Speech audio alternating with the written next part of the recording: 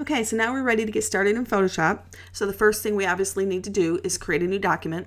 So I have our new document dialog box already open. And let's name it. We're going to name this one Children Cover.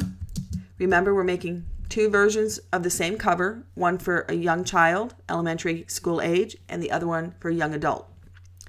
I'm going to skip the preset because when I start to make my changes here, that will automatically change to custom. Now, most book covers are approximately 9 inches high by 6 inches wide, and I want to make this a little bit larger to allow for a bleed area. And I'll explain that more in a little bit. So I'm going to set mine to 6.5 inches wide by 9.5 inches high.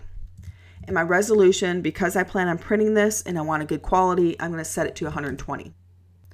And then my color mode, I'm going to change that to CMYK because my intent is to be able to print this in a four color process. If your intent was to actually create something that was going to go to a professional print shop, then you would want to check with them on your final dimensions and what your plans are so that they understand your bleed area and your trim line. And if they prefer CMYK through your entire process, or if it's okay for you to start in the RGB mode first so you have more features available to you in Photoshop, and if you can then convert it to CMYK when you're finished with your document.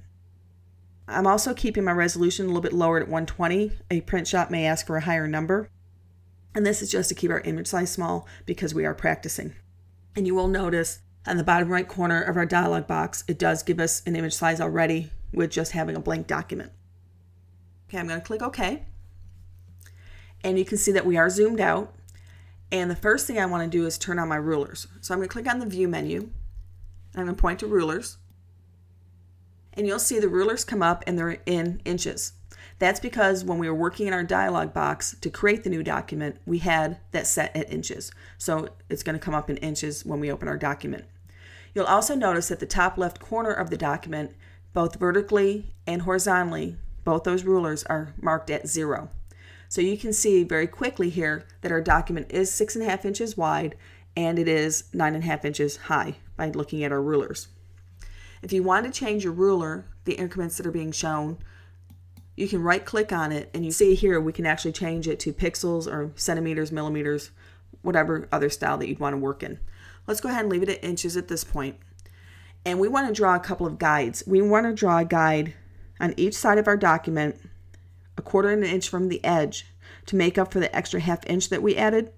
This is going to create our bleed area and it's going to be our trim marker so that when this is actually printed, it would be cut down to six inches by nine inches and this shows us where our edge of our document is at the cut line. This will allow us to actually print to the edge. Many times when you print from a printer, the document will come out with a little white margin around it and you can never print to the edge of your document.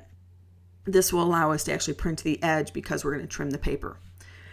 So what we want to do is trim off a quarter of an inch on each side and create a guide to do that. So I can click on my ruler at the top as I'm clicking, I hold my mouse down and I can drag and I can bring this down to a quarter of an inch. And you can see on the left hand side, I get a little dotted line on my ruler showing me where my guide is. And I also have a tip that's popped up, a screen tip, that's telling me I've got it at 0.25 inches, which is a quarter of an inch. And I want to do this at the bottom margin also.